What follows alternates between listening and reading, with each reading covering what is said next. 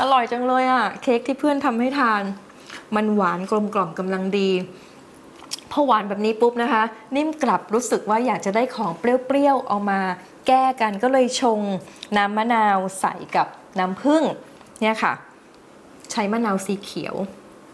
มันไม่เหมือนกันนะคุณผู้ชม บางครั้งเนี่ยเขาจะใช้มะนาวสีเหลืองในการทำเครื่องดื่มเย็น อย่างเช่น เอาไปใส่ในแก้วกับโซดา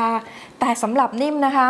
ยังไงก็ตามพอมันเป็นเครื่องดื่มเปรี้ยวๆเนี่ยนิ่มชอบมะนาวเขียวมากกว่า เพราะว่ารสชาติมันแตกต่างกัน เรามาดูไหมคะว่า สีที่แตกต่างกันให้รสเปรี้ยวที่ต่างกัน แล้วสารอาหารล่ะต่างกันหรือเปล่า สักครู่นะคะ Did you know อย่าลืมกดไลค์ กดแชร์ และกด Subscribe และกดกระดิ่งเตือน เพื่อเนื้อหาสาระสดใหม่ทุกวันนะคะ Did you know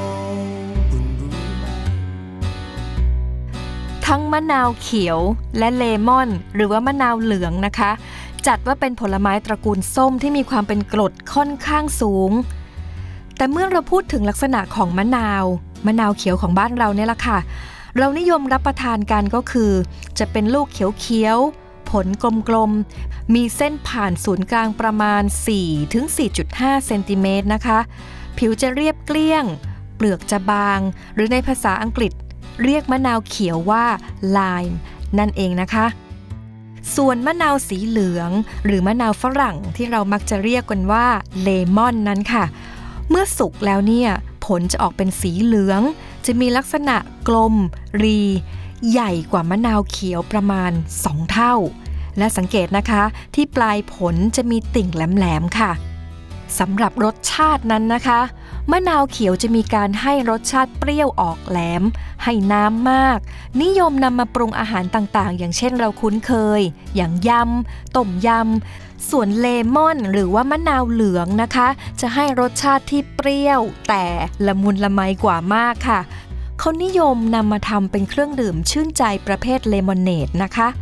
หรือว่าอาจจะนำมาใช้เป็นส่วนประกอบของขนมหวาน อย่างเช่นการทำพายเลมอน แยม เจลลี่ หรือว่าใช้แต่งกลิ่นในน้ำอัดลมด้วย แต่ว่าคุณค่าทางอาหารล่ะคะ ต่างกันไหม ในแง่ของคุณค่าทางสารอาหารค่ะ ทั้งมะนาวและเลมอน ให้คุณค่าสารอาหารของวิตามินและเกลือแร่ที่ใกล้เคียงกัน แต่อย่างไรก็ดีนะคะ หากเราเปรียบเทียบปริมาณวิตามินซี ในปริมาณที่เท่ากันคือ 100 กรัม เลมอนหรือมะนาวเหลือง จะมีวิตามินซีมากกว่าคือ 53 มิลลิกรัมค่ะขณะที่มะนาวเขียวของเรา มีปริมาณวิตามินซีอยู่ที่ 29 มิลลิกรัมเท่านั้น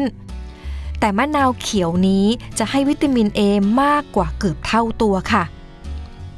ทั้งสองอย่างมีประโยชน์แล้วก็มีความแตกต่าง คุณผู้ชมถ้าไม่เชื่อ อย่าเชื่อนี่หมดนะคะไปพิสูจน์เองค่ะว่ามันต่างกันจริงหรือเปล่า แล้วเรามาหากันว่ารสชาติเปรี้ยวแบบไหนถูกใจ